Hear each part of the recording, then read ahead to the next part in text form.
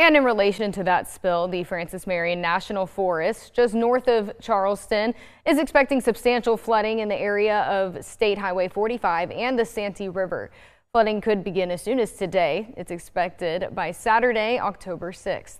They advise people to use caution and avoid using Forest Service land until the area is deemed safe to do so.